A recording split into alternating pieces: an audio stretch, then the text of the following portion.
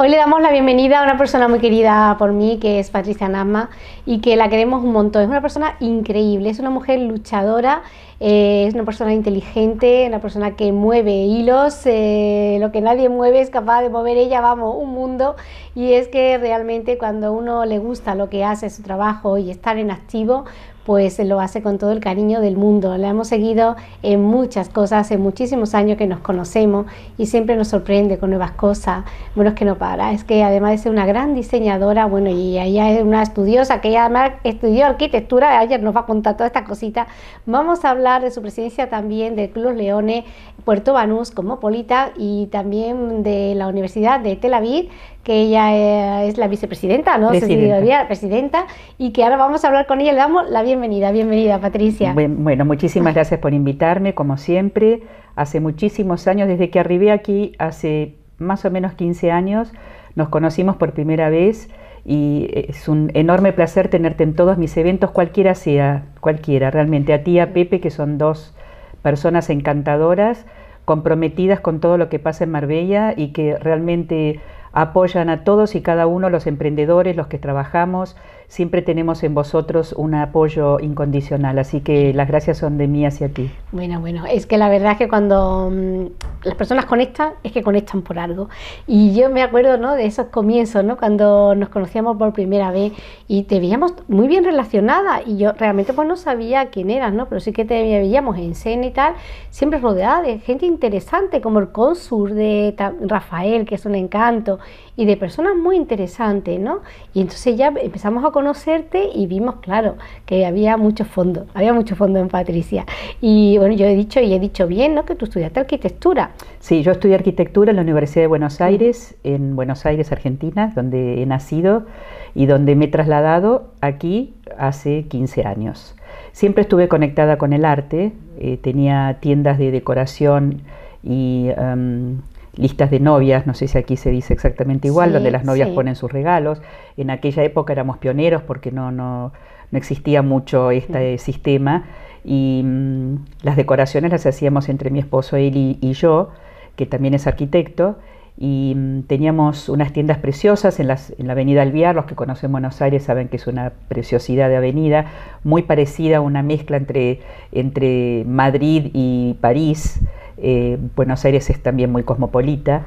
Eh, bueno, y hasta que decidí venir para aquí y continuar con la tarea del arte en otros aspectos, pero eh, siempre con arte. Claro, bueno, el diseño tiene que ver también con la arquitectura, ¿no? En la época, yo recuerdo ahora en la época de la crisis que me decían amigos arquitectos que, claro, no se vendía nada, no, no trabajaban, no, no hacían nada, que decidieron montar pues, una tienda de muebles de bebé, claro, porque una cosa va con la otra, ¿no? Si sabes de diseño, pues sabes de diseño en todos sus sentidos. Y siempre que estamos pensando en arte o en realidad el arte es algo que cuando te gusta es como una cosa media innata, eh, te, va, te va brotando, es como que yo veo este biombo que tienes atrás tuyo y, ya le estoy viendo la talla y, el artesano que lo hizo y bueno, hay toda una historia que uno va apreciando porque sabe el trasfondo, el alma de esto, ¿no? Eh, es una deformación profesional siempre esto. bueno, fíjate que también eh, estábamos hablando de, bueno, que hace muchos años más que siempre eh, eres elegida, porque cada año podían elegir a otro presidente, pero sin embargo, si algo tiene el agua cuando la bendice, algo tendrá bendice cuando sigue de presidenta año tras año, ¿no? Como presidenta del Club Leone Puerto Banús Polita y que lo lleva fenomenal. Sí, acabo de ser reelegida y ya les dije que por última vez, porque realmente para hacer una campaña de presidenta de de la persona que dirige una institución tan importante, tan acreditada y tan creíble como es el Club de Leones, eh, hay que dedicarle eh, un tiempo verdaderamente importante. Y bueno, ya es el cuarto año, yo creo que ya la campaña la hice, el club, este, bueno, antecesor a mí fue el señor Harry Ojayón, que realmente ha dejado el club también muy, muy alto, con un listón muy alto. Yo he tratado de continuarlo y siempre a disposición de todas las organizaciones que necesitan ayuda y para eso estamos. Esa es la, el alma del Club de Leones. Nosotros estamos para servir y sobre todo ayudamos a pequeñas instituciones que no tienen ayudas eh, gubernamentales pero que son tan importantes como aquellas enormes que sí la tienen. Entonces vienen a, nuestra, a nuestras reuniones, nos plantean sus necesidades, estamos en contacto con los eh, con los enfermos también, y, entonces definimos cuál es la campaña anual que vamos a hacer.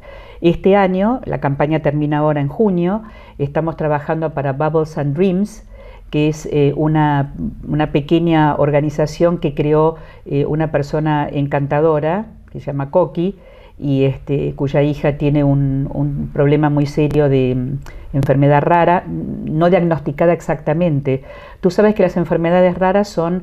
Eh, eh, son muy jorobadas realmente, porque los grandes laboratorios no se encargan de las enfermedades, de las investigaciones y de apoyarlas económicamente. Porque no hay mucha gente, por ejemplo, decimos el cáncer, por cáncer, porque casi, yo qué sé, el 50% más de la población pues tiene cáncer, pero las enfermedades raras, pues por eso son raras, porque es que no la tiene, son contados, ¿no? son contados, son No hay mucho dinero para, para investigaciones. Eh, dinero hay, dinero hay. Lo que no hay es interés porque en realidad eh, al haber poca gente, si tú prorrateas un, un, un, remedio que sale o, una investigación que sale para un grupo pequeño de personas, eh, no le es rentable a, a, la empresa.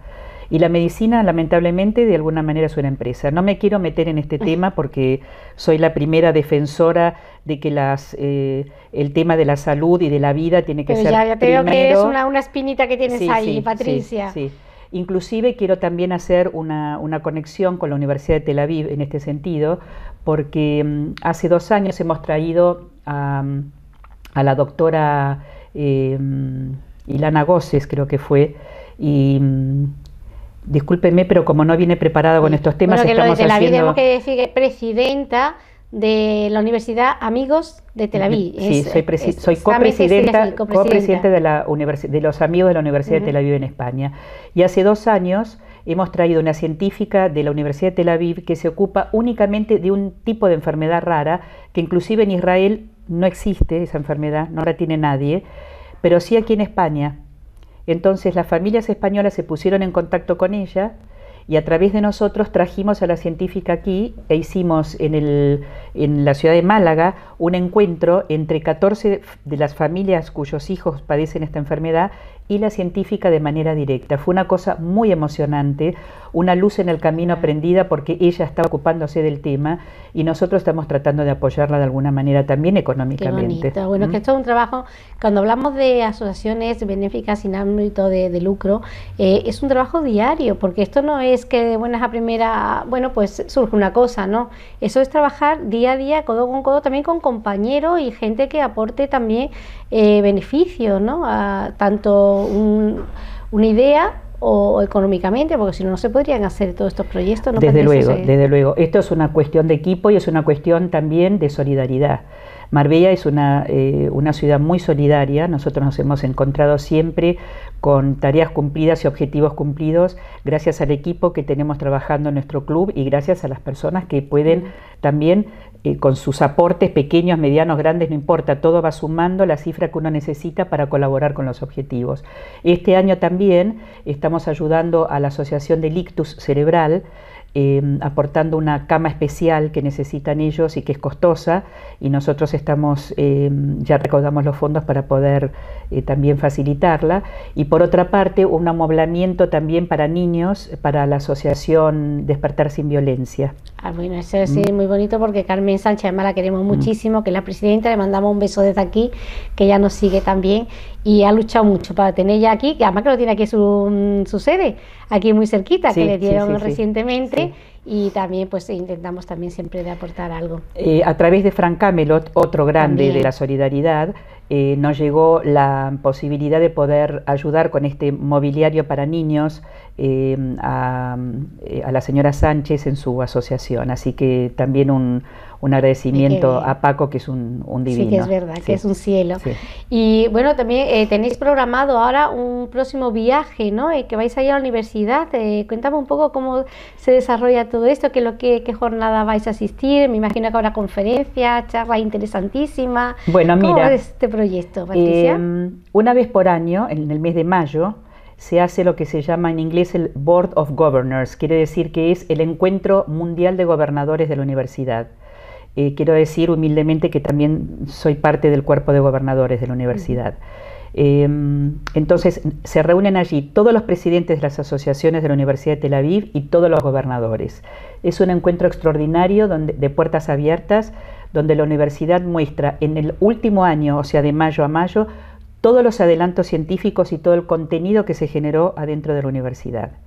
Es fascinante, Elena, es fascinante. No te alcanzan los minutos y las horas para hablar con los científicos, para conocer los nuevos edificios que se hacen para ciencias de la vida, educación, eh, nanotecnología, nanociencia, innovación. De todo, ¿no? Cuando regreses tienes una cita aquí ¿eh? para contarnos toda esa experiencia vivida, incluso espero que me traiga fotos y todo para documentarlo. ¿eh? Desde luego, desde luego. Además vamos con Marinoel, que ella tú sabes que en el tema medios de prensa y todo, todo. Eh, sí, y se lo facilitará, pero Absolutamente, serán los primeros en tenerlos también. Bueno, y ese es uno de los primeros eventos ya de la temporada, pero tienen muchos más.